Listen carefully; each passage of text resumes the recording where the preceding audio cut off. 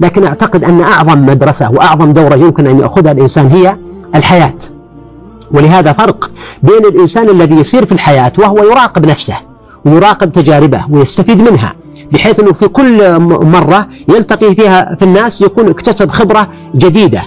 آه، وبين آخر ربما يمضي في آه، طريقه وهو لا يلوي على شيء ولا يحاول أن يقرأ. ويراقب تصرفاته والجوانب الإيجابية والسلبية في تعامله مع الآخرين. ولا بأس أن أشير إلى بعض ما يذكر في موضوع فنون الاتصال وأساليبه. فهناك أولا النقطة الأساسية هي قضية المقابلة. يعني أول ما تقابل إنسان أو تلقاه. هذه الخطوة الأولى والمقابلة قد تكون مقابلة مقصودة يعني بناء على موعد. ايا كان هذا الموعد حتى لو كان عفويا أو كان موعدا لإجراء مقابلة شخصية أو للتعرف أو لتدارس أو لأي شكل من الأشكال. وقد يكون هذا اللقاء أو هذه المقابلة قد تكون مصادفة. تجمعك مع إنسان مثلا في الطائرة أو في القطار أو في السوق أو في أي مكان من الأماكن فبالصدفه التقى الإنسان بآخرين كيف يستطيع أن يتعامل معهم. وأنا أذكر قديما عمر أبو ريشة رحمه الله كان له قصيدة عنوانها في الطائرة وكنت يعني أعجب منها. وإن كانت يعني قد تكون وهو الظن عندي أن القصيدة ربما رؤية خيالية. نعم. آه، عنوانها في الطائرة هو يصور نفسه وهو في الطائرة ذهبت تستقرب النجم مجالا وتعالت تسحب الذيل اختيالا وجواري غادة تلعب في شعرها المائج تيها ودلالا. قلت يا عذراء من أنت؟ ومن أي دوح أثمر الغصن وطال فأجابت أنا من أندلس. جنة الدنيا نعيما وظلالا وجدودي ألمح الدهر على ذكرهم. يطوي جناحيه اختيالا هؤلاء الصيت قومي فانتسب إن تجد أكرم من قومي. رجالا آه، أطرق الرأس ودمعي آه، هاطل وافترقنا وتجاهلت السؤال. فأنا أعتقد أنه كان رحمه الله كشاعر يقصد أن يعبر نعم.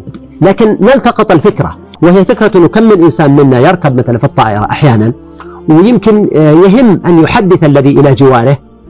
فيتردد حتى إلقاء التحية والسلام آه، يكون فيه صعوبة. بينما القضية تتطلب أن يتدرب الإنسان على نوع من الجرأة وعادة دائما كل شيء له أول له بداية.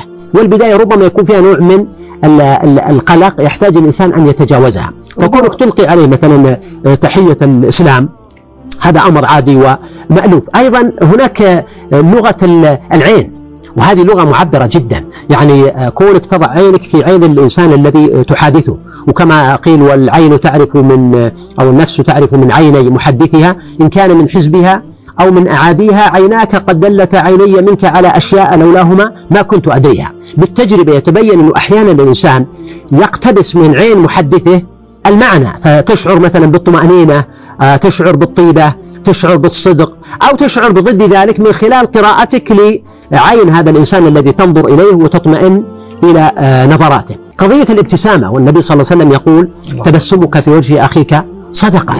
فانظر يعني كيف ارتقى بابتسامة عفوية إلى مستوى أن تكون صدقة. هنا ليست ابتسامة كما يقال ميكانيكية. نعم. يعني يتدرب الإنسان مثل ما يدرب البايع. على أن يبتسم للزبون من دون لا نريد أن تكون أيضا ليست ابتسامة صفراء أو ماكرة أو خادعة ابتسامة صادقة تعبر عن صفاء القلب. وهي عبارة عن رسول لهذا الإنسان الذي تلقاه لأول مرة. أنك إنسان آه، تحبه وتحب له الخير وتحب أن تكون العلاقة معه مبنية على آه، أمر. طيب.